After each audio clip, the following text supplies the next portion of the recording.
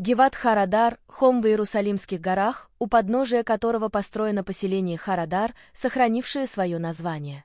Его высота составляет около 880 метров над уровнем моря, и он расположен в месте, откуда открывается вид на Иерусалим, Иудею, низменность и дорогу Иерусалим-Тель-Авив. Хом был известен главным образом тяжелыми сражениями, проходившими здесь во время войны за независимость и шестидневной войны. Раньше было принято говорить, что военное использование радарного холма началось во время Второй мировой войны, когда власти британского мандата установили на холме радар для обнаружения проникновения немецких или итальянских самолетов. Однако это результаты новых исследований. Судя по всему, установленное на холме сооружение представляло собой радиорелейную станцию, телефон. Из-за формы устройства, напоминавшего антенну радара, его ошибочно назвали «радар». После неоднократных атак на наземные телефонные линии важность объекта на этом холме возросла. Британцы демонтировали объект и покинули холм 11 мая 1948 года, ближе к концу срока действия мандата. После того, как британцы очистили холм, холм был взят силами Пальмаха, но позже иорданцы захватили его под свой контроль.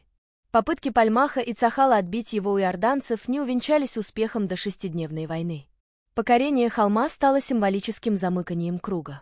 Ури Бенари, который сражался на холме в качестве военачальника в 1948 году и не смог его взять, но вернулся и захватил его в шестидневной войне как бригада Харель, которая на самом деле была резервной бригадой, не имеющей отношения к расформированной бригаде Харель-Пальмах. Сразу после окончания боев шестидневной войны бойцы победившего батальона 104-го батальона Харельской бригады установили на краю места боевых действий скромный памятник в память о своих товарищах, а также установили мемориальную доску, на котором на протяжении всей войны были высечены имена погибших героев батальона. Ввиду важного положения холма и его особого имиджа было ясно, что следует воздвигнуть более крупный и достойный памятник, и инициативу продвигали как бойцы, сражавшиеся на холме, и в частности Ури бен Ари, так и жители соседних кибуцев Шлома бен Хаим из Мале Хахамиша и Ицхак бен Авраам из Кирьят Анавим. Памятник был открыт 4 июня 1975 года после разрушения заставы. На этом месте есть мемориал павшим на протяжении поколений бригады Харель во всех секторах, а также экспозиция танков и бронетранспортеров.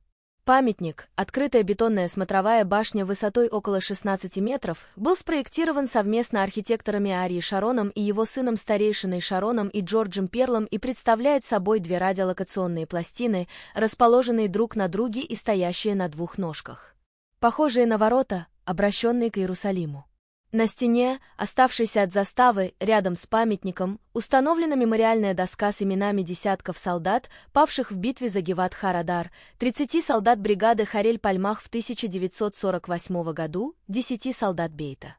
Батальон Харон бригады Ициони, два военнослужащих Кирьят-Ярима в 1948 году и 5 солдат. Бронетанковая бригада Харель за 6 дней боев на радаре Геват и его окрестностях. Сильная идентичность с бригадой, Харель, привела к установке мемориальных досок с изображением. Имена ее командиров в 1948 году Ицхака Рабина и Йосифа Табенкина, которым в 2010 году, после его смерти, добавилось имя Ури Бенари.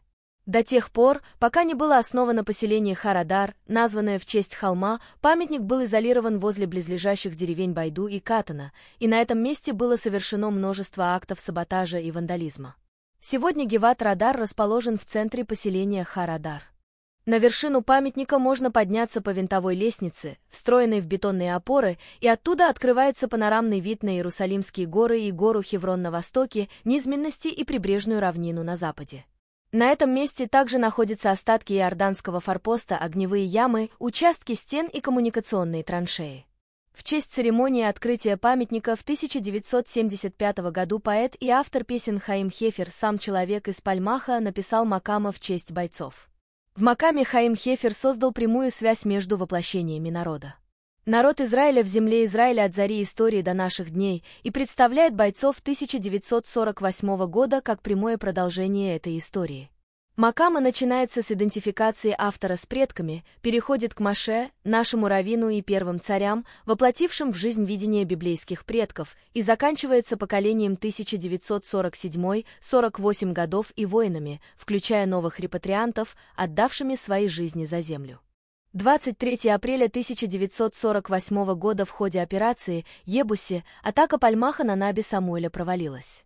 Силы подкрепления, вышедшие из Малеха Миша в направлении Наби Самуэля, столкнулись с каменными заграждениями в зоне действия радара и атакой местных арабов. К ним также присоединились солдаты арабского легиона из радиолокационного лагеря. Прорывной батальон был разбит. Тяжелый удар, 38 его солдат были убиты, 15 в радиолокационном секторе, а остальные в Наби Самуэль-Бейтиксе. 11 мая, за три дня до окончания мандата, британцы демонтировали объект и покинули холм. 13 мая, за день до создания государства Израиль, форпост был взят силами Пальмаха. После этого он был передан в ведение роты Б-батальона Бейт-Харон, Хаганы. Бригада Эциони под командованием Мейера Заре, Зеро и совместно с защитниками окрестных кибуцев начали работы по укреплениям на заставе и Микуши в ее окрестностях, главным образом на дороге, ведущей в беду. 25 мая иорданские войска атаковали заставу с ее стороны из пушек и минометов и продвинулись к заставе, а атака была отбита. На рассвете следующего дня иорданцы вновь атаковали заставу превосходящими силами танковых и пехотных сил и артиллерийской поддержки и сумели захватить ее у сил обороны. Командир заставы лейтенант Амель Рожанский и несколько бойцов были убиты. В тот вечер в бою была предпринята попытка отбить высоту у иорданских войск силами Пальмах-Хареля, командирами которых был Урибенари, но эта попытка не увенчалась успехом. 1 июня силами Хареля при поддержке роты Гевата была предпринята еще одна попытка занять заставу, но она также провалилась. В ходе боев в этом районе остались несколько жертв, тела которых через долгое время были доставлены для захоронения. Некоторые были похоронены в братской могиле на горе Герцля зимой 1949 года, а некоторые остались на территории Иордании. Иорданцы были очень заинтересованы в удержании холма, поскольку он контролировал дорогу Иерусалим-Тель-Авив, обеспечивая постоянный контроль Иордании вплоть до Тарона. Геват-радар даже контролировал дорогу, ведущую между Рамалахом и Латруном, и, таким образом, позволял продолжать обеспечивать иорданские силы в анклаве Латрун и снабжал их оружием и продовольствием, которые позволяли им противостоять нападениям. После окончания войны за независимость, согласно Родосским соглашениям, Хом оставался под контролем Иордании до шестидневной войны. Хом был самым укрепленным соединением иорданской армии на западном берегу. Бои на Геват-Харадаре исследовал и документировал Ермидоцкий, чей брат Янкила Медоцкий пал при попытках взятия высоты. В шестидневной войне механизированной бригаде «Харель» 10-я бригада под командованием Ури Бенари была поставлена задача прорваться к задней части горы и через северные хребты достичь Телельпуля, пик Зев, чтобы предотвратить захват Иордании анклава горы Цафим. Иорданский комплекс радиолокационной обороны включал в себя три заставы. Радар-1, расположенный недалеко от границы. Радар-2, самая большая из трех станций, которая находилась немного дальше и на более высоком холме. Радар-3, самый дальний. Три аванпоста удерживала рота иорданской армии. Бригада начала наступления 5 июня 1967 года в 17 часов 15 минут. Одной из осей движения бригады был радар Наби Самуэль. Три иорданских аванпоста в зоне действия радара пали в течение нескольких часов в упорной борьбе на минных полях, но при небольшом сопротивлении иорданцев. Атаку на центральную заставу из трех возглавили шесть танков АМХ десятилетней давности, купленных после Синайской операции. У одного по дороге сломался двигатель. Гусеница второго раскрылась уже в пути. Третий наехал на мину, которая попала в гусеницу и остановила танк. Четвертый упал в канаву на бок. Пятый пострадал от огня иорданцев, заглох и загорелся, но команде удалось его потушить. Последний прибыл на заставу, с которой бежали иорданские солдаты, но нагретый бензиновый двигатель начал выделять пар. За подкреплением прибыло иорданское танковое подразделение с только что полученными танками М-48 «Питон», но, видя ситуацию израильтян, развернулось, вероятно, чтобы присоединиться к войскам в Иерусалиме.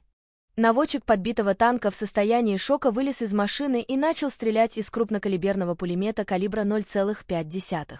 Один из иорданских танков взорвался огненным шаром, а остальные израильтяне присоединились и открыли огонь из пулеметов и стрелкового оружия. Все иорданские танки были уничтожены до одного за считанные минуты. Оказалось, что они везли в кузове бочки с дополнительным топливом, а поскольку их двигатели тоже работали на бензине, трассирующие пули поджигали их. После прорыва обороны противника в бой включились и солдаты 163-го батальона Иерусалимской бригады, 16-я бригада, которые уже находились в этом районе в период боевой готовности перед войной. Под командованием подполковника Майкла Пайкса. Рота батальона штурмовала трех-ю-радиолокационную станцию и быстро взяла ее под свой контроль. В бою погиб один солдат. Через два месяца после битвы тела бойцов Харель-Пальмах были обнаружены на этом месте членами военного равената, которые оставались в поле в ямах на этом месте со времени боя в 1948 года и были привезены для захоронения на гору Герцля 28 марта 1968 года.